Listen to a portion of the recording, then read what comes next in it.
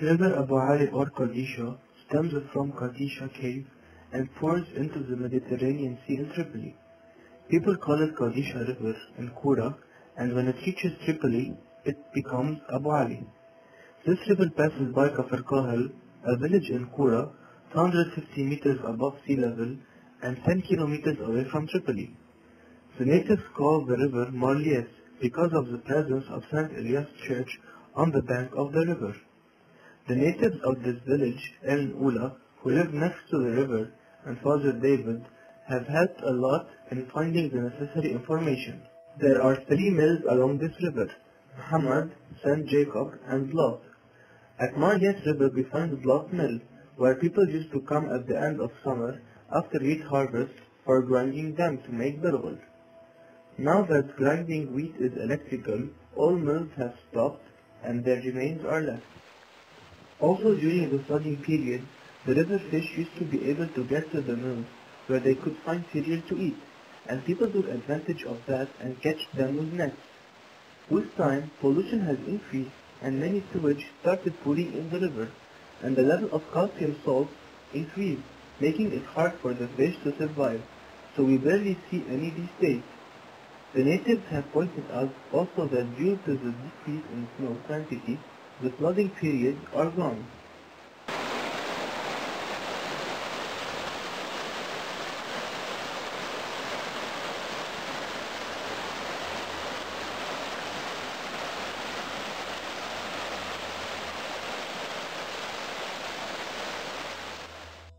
There used to be a lot of mulberry trees next to the river, where people raised silkworms and produced remarkable quantities of silk to sell.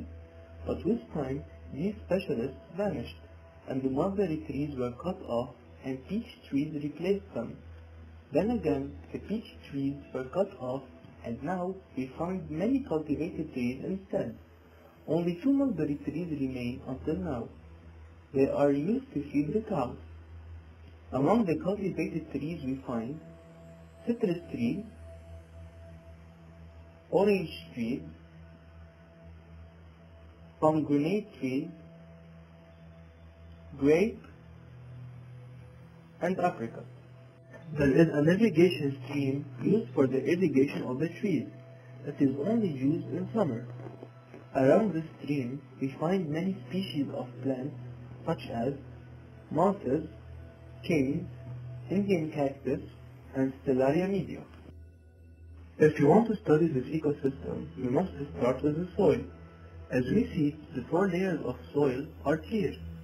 The O layer, where we have the living organisms, the A layer, where the organic materials are found as well as plant roots, the B layer, which is lighter in color and it is less rich in organic materials than A. Under all these layers, there is the C layer, where the unbroken rocks exist. Next to the river are many big rocks where we find lichen on them. This rock has three types of lichen. The first one is yellowish, the second one is dark green, and the third one is white.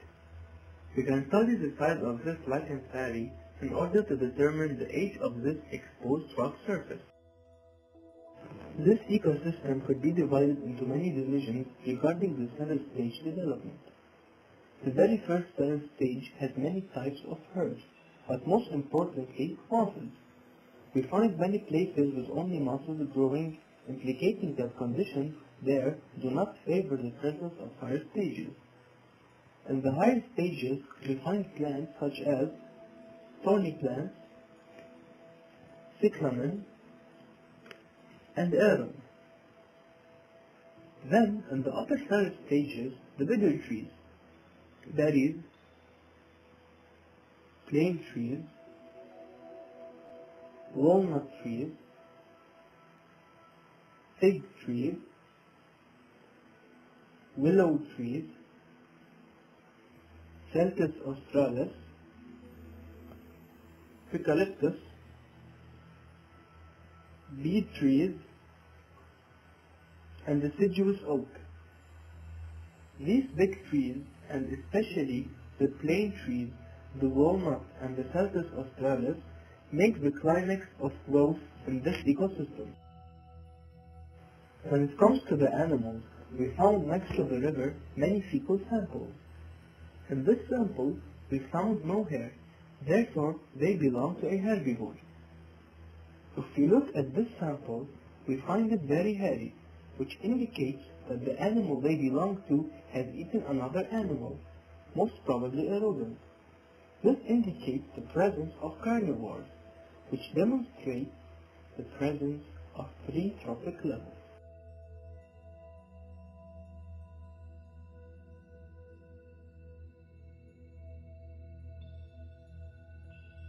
Moreover, the natives told us that bats live in this ecosystem too, so we had to check the dark places or the caves where they might live. The blood mill was obviously a home for them, considering we found bat feces on the floor of the mill. This freshwater ecosystem is very rich on many levels. It has all the trophic levels, a remarkable climax, and exciting historical background. However, and as many others, we find pollution and bird hunting all over the place. All of that, in addition to man exploitation, have led to a significant decrease in the animal population, especially the fish and wildlife.